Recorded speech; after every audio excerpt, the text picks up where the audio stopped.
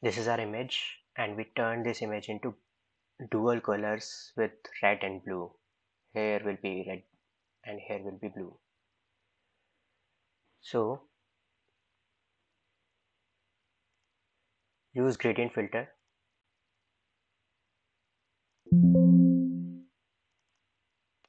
Use red here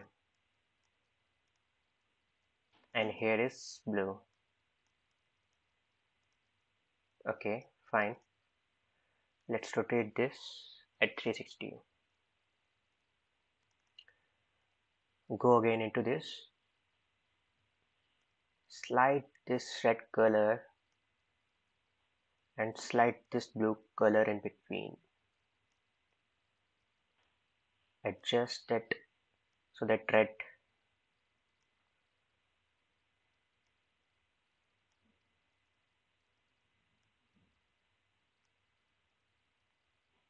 and slide this in between.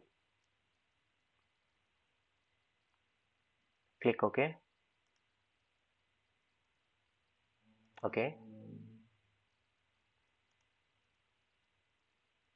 color. Soft light. Use this soft light filter. And use curves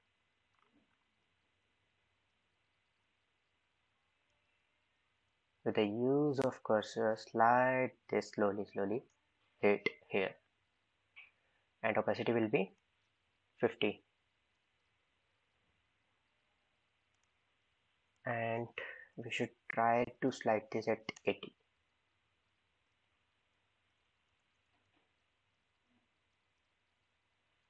I think it's look nice